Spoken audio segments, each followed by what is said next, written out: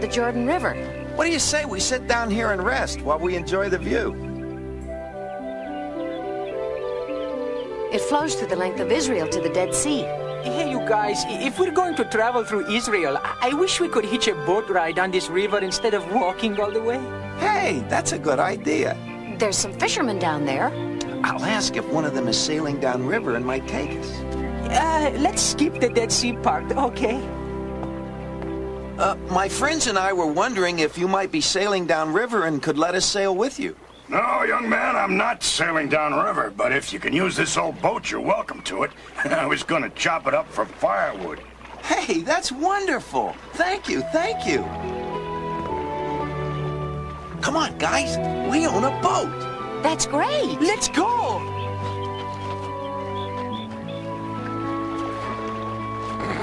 Gave you that piece of junk, and you took it? Hey, you're the kid that wanted a boat ride. Yes, Moki, be thankful for the man's generosity. I'm sorry. Margo, why don't you stay with the boat while Moki and I go to the village and hunt for food for our trip? Moki, you go that way, and I'll go this. We'll meet back here in an hour. You got it.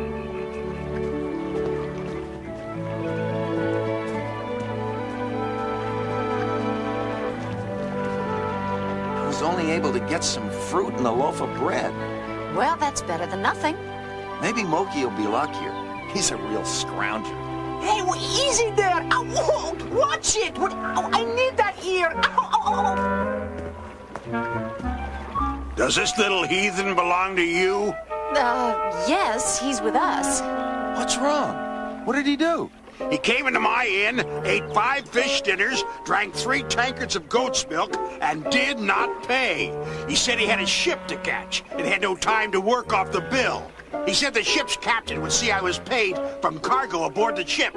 Are you the captain of the ship? Uh, I guess so. Where's your ship? Oh, and where's your cargo?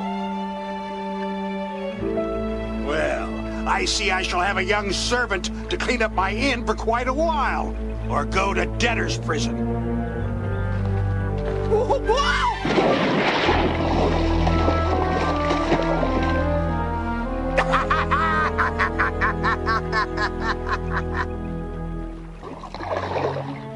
Moki, sometimes you are a real Jonah.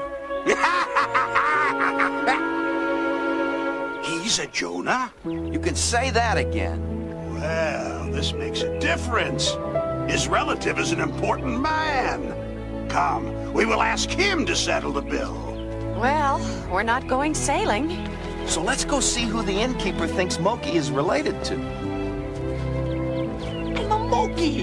Why did Derek call me a Jonah? I think it's an old saying sailors use to describe someone who brings bad luck on board a ship. Oh, I get it now.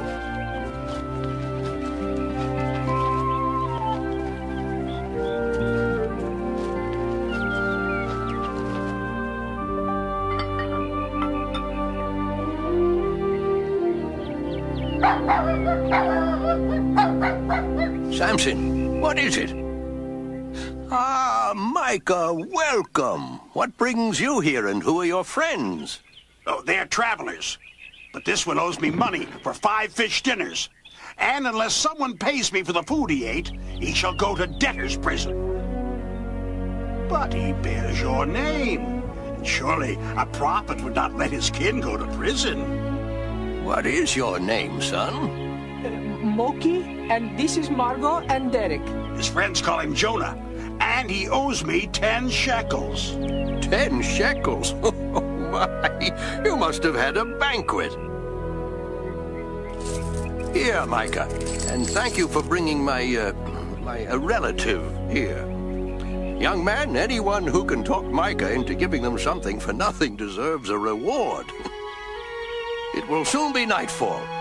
Why don't you all stay the night in my home? My housekeeper will prepare supper for you and food for your journey tomorrow. Oh, thank you. That's great.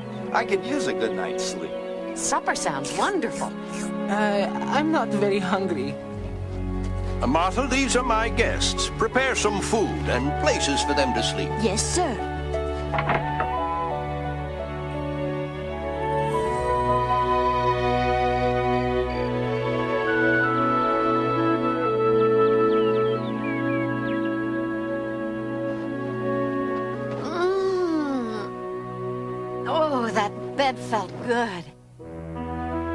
Hey, sleepyheads, rise and shine.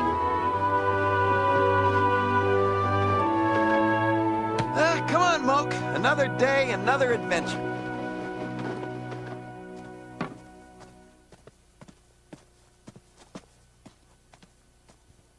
The master hopes you slept well. I have prepared your morning meal, and here is food to take with you on your journey. Please thank our host for us. Is he still sleeping? Oh, no. The prophet was up at dawn. He is in the garden where he is writing his great experiences for the sacred records of our people. Derek, how dumb can we be? Don't you see who our host is? Huh? He's the prophet Jonah. You mean the Bible prophet Jonah? The, the one who... Right. That's why when you called Moki a Jonah, the innkeeper thought Moki was his relative. I'm a Moki, Jonah. What he's writing is what got put into the Bible. You know, the Book of Jonah. He wrote a book? He's famous, huh? Real famous. Hey, maybe we are related. We can't tell him that we know his story, but wouldn't it be wonderful to hear it from him personally? Yeah, let's ask.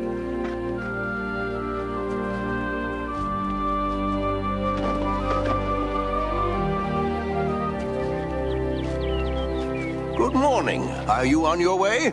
Yeah, and thanks for your hospitality. And for the bed and breakfast, too. Uh, your housekeeper told us that you're writing your great experiences for the sacred records. We'd love to hear them before we go. Would you tell us? Well, there are things in my story that I'm not too proud of, but I have learned much since then. Sit down, and I will tell you. Several years ago, as a young man, I was sleeping when God spoke to me. Jonah. Jonah.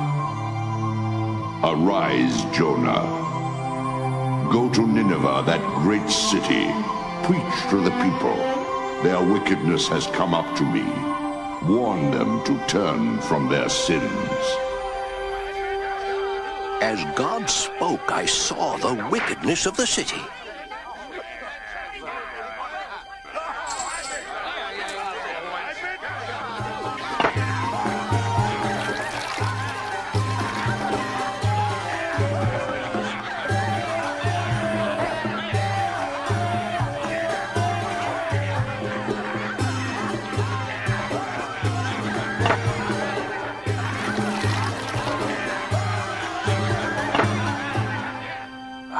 Not want to go to Nineveh. The Ninevites worship idols. They do not know the true God. They are enemies of Israel. They will not listen. I'll not go to Nineveh. I shall go to Joppa on the Great Sea and take a ship in the opposite direction. Then maybe I can get far enough away from God that he will not remind me to go preach to the wicked Ninevites.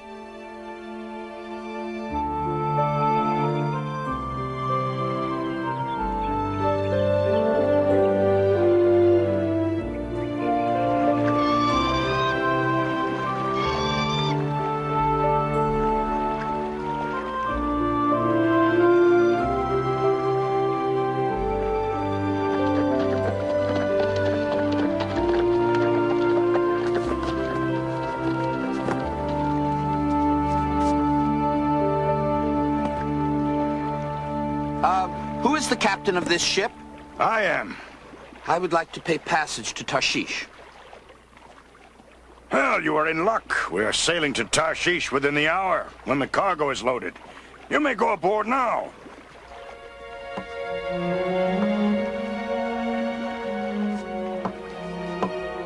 He looks as though he's running away from someone. Probably his wife. You see, my young friends, I was running away from God, and I thought by going deep into the hold of the ship and going to sleep that I could hide from him.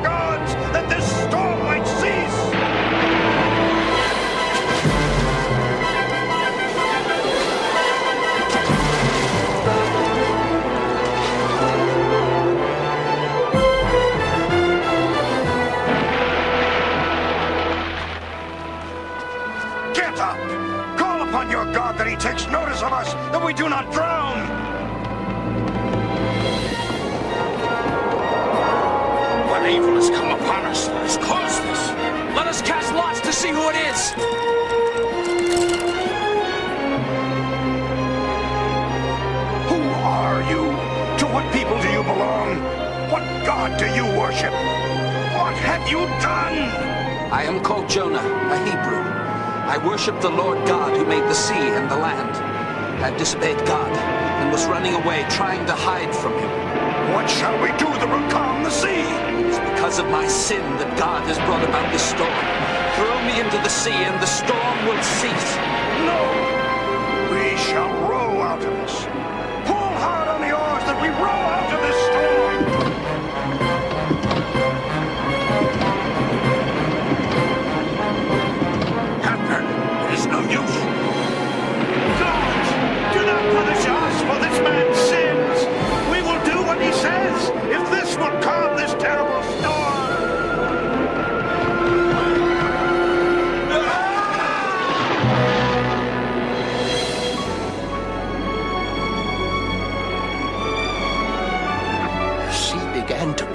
I was tangled in seaweed and began to sink into the depths and was prepared to drown when a great fish, which God had created, came upon me and swallowed me.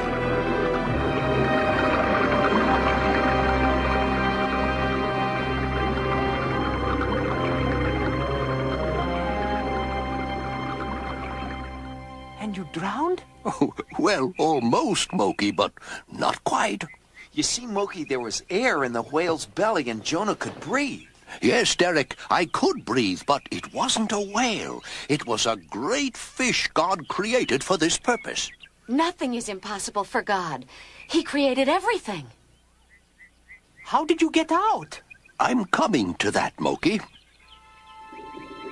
I was inside the belly of the great fish for three days and three nights.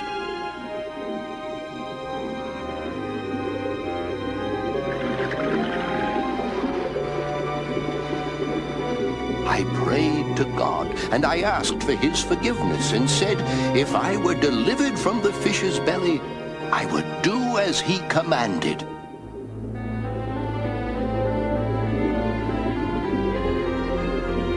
O Lord my God, have mercy on me that I might be delivered from the depths, and I vow that I will do what you have commanded of me.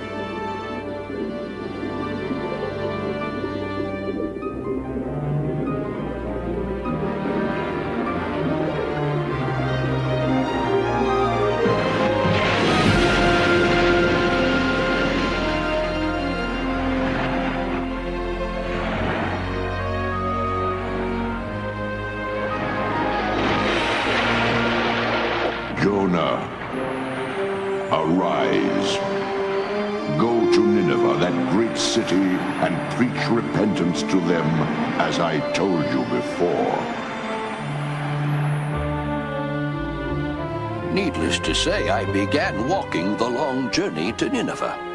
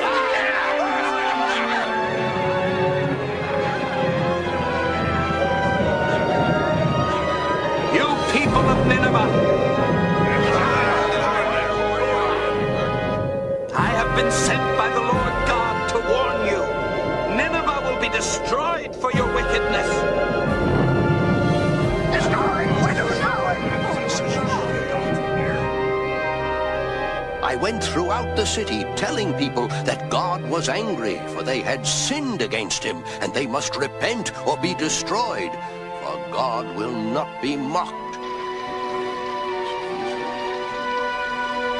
I'm told he's called a prophet sent by God to warn us. But destroy Nineveh when we have walls 60 miles around and 100 feet high? And thick enough for three chariots to ride abreast on top of them. But he says his God could destroy Nineveh in a day, in an hour.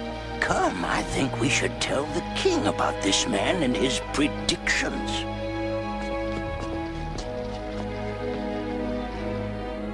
His Majesty will see you. But be quick, as he is busy with the affairs of state.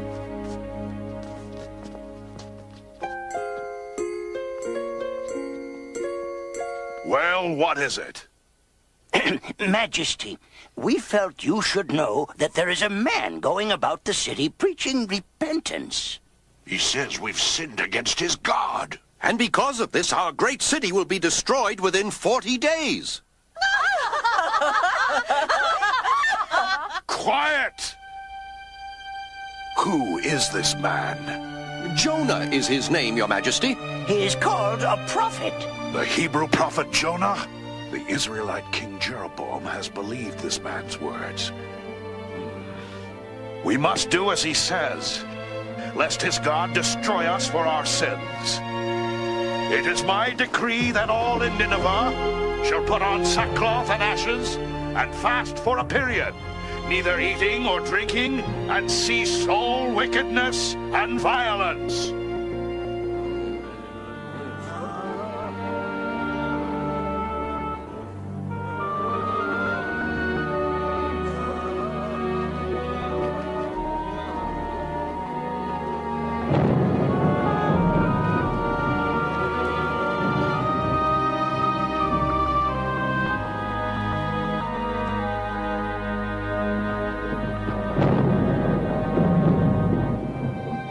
Left the city to wait and see its destruction by fire and brimstone. Oh, boy. I'll bet that was an awful sight. No, Moki, it didn't happen. I was angry with God. I had prophesied Nineveh's destruction. They were enemies of Israel, and God spared them.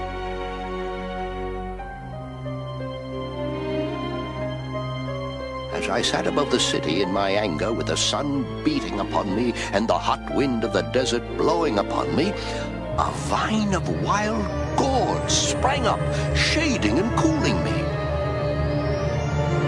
I was happy with this gift from God and felt that he was sorry and had done this to appease my anger.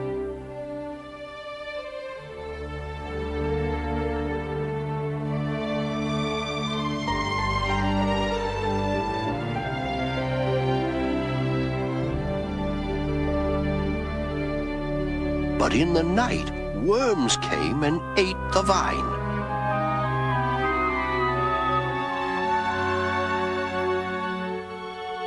Again the hot sun and desert wind beat upon me, and again I was angry and even wished I could die. And then God spoke to me. Jonah, were you angry to see the gourd vine die? Yes, angry enough to die. You had pity for the vine that you neither planted or caused to grow, that it came up in a night and then perished in a night. And should I not spare Nineveh, that great city of 120,000 people, who cannot tell their right hand from their left, and much cattle? It was then I learned a great lesson. God loves all his children. Our enemies may not be his enemies, and when any of his children repent, he blesses them. Well, my friends, that is my story. Now, I guess you are continuing your journey? Yeah, I think we'll have to get moving. That's a wonderful story, Jonah. Yes, and a real lesson. Thanks for everything. Come on, guys, time to travel. Goodbye. Oh, and I don't mind being called Jonah.